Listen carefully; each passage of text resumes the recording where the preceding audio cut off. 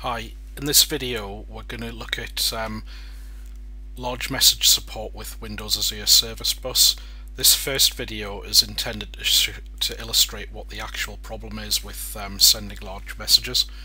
So to begin with, um, let's have a look and see our queue setup. So for the demos that I'm going to use alongside this article, I've got five queues set up. The one of the um, one of the sessions is going to talk about an option where we'll cache the message body to one side and those two queues are for that demo. For this first demo we're going to use the request queue here which um, which contains a very basic queue. We haven't got any particular properties set on it here and we've got a response queue which is, um, if you notice, is enabled for requires session and in this particular um, demo we're going to do an RPC pattern. So we're going to send a request message to the request queue. It's going to be collected by a receiver and it'll contain some details about the response queue we want to send a response back to. And the client that sent the original message is going to be polling the response queue to collect that response. If we have a quick look at the Visual Studio solution we have here, so we can see that we've got um, three projects. The shared messages project, the key thing here is that it contains this, this object or this class called very big data type and I'm going to just populate that um, big value property with a string that'll be used to control how big the message that we're going to send over service bus is. After that we have the client and we can see in the program class here the client's going to send a message to the request queue and it's going to get a response on the response queue. For those of you who are fairly familiar with Service Bus, you'll recognize a lot of this code. So we have the messaging factory. We're going to create a big string and we'll use the, the value here to specify how big it is. We'll then create our very big data type object and we're going to also create a session ID and a correlation ID. Then we're going to call into the send message method. And if we look down here, this is going to create a message sender and it's going to serialize our object to um, to create a stream which will become the, the stream for the brokered message. We're going to then set the session ID, correlation ID, tell the message that it's of type JSON and we're going to set the reply to um, queue so the message comes back on the response queue and then we're going to send that message. After that we're going to um, we're going to use the receive response message and we're going to create a create a session receiver and that's going to just wait for that message using the session ID and then when we get the message back we'll deserialize it and just display it on the receiver side. So this is going to going to start up and it's going to start polling on that um, queue. And it's going to receive a message deserialize it. We're going to get grab the properties which tell us about how to send a response with a reply to and the um, session ID and stuff.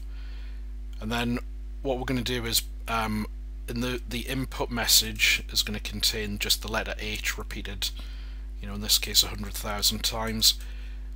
The response message is going to create yeah I'm going to include the letter I and it's going to be however long the original input message was it's going to send a response which is the same length. We're then going to um, serialize that message and send it back to the to the response queue. So let's take a quick look at this in action so with the application started here, you can see on the left hand side we have the console for the client application, which is just waiting for me to press a key to start. And on the um, on the sender on the receiver side, the one with the green text, it's waiting for a new message. So if we press um, press any key to start, so just before we we run the sample here, I've just amended the size of the message to 123 characters just to make it easy to illustrate this first test and if we drag in the first console window which has the blue text which will simulate the client sending the message and secondly we bring in the green console which will be um, receiving the message. So if we click a button to start, and we can see that a message is sent, and the green window basically collected the message and displayed all of the H's, which were the message body, and then sent a response, and then waited for the next message. And very quickly, the client received the response message, which was all eyes. and you can see, um, you know, that that was just nice and easy to implement and you know that that's a standard RPC pattern now the question is what happens if we increase this message well let's go up to 100,000 characters and let's run it again.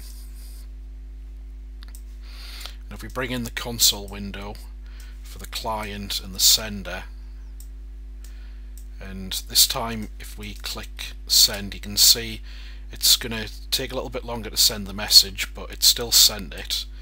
And you can see the message body is much bigger there. And that still worked on both sides and we managed to send a much bigger message through the queue.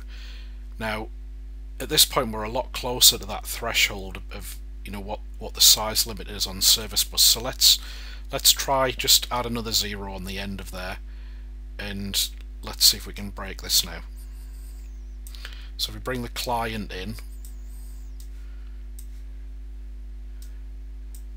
and we bring the so the, again the client's the blue text, the receiver's the green text. And if we click send, this time we should see that we should get an error.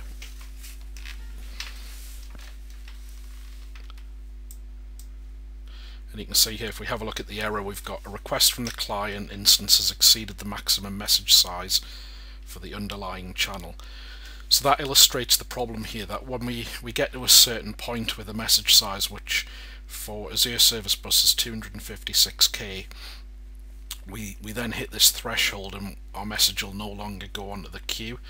So if we've got a bigger message, we need to come up with a way to work around that and see if we can flow a larger amount of data through queues. And that's what the rest of this um, this article and the other videos are going to be about.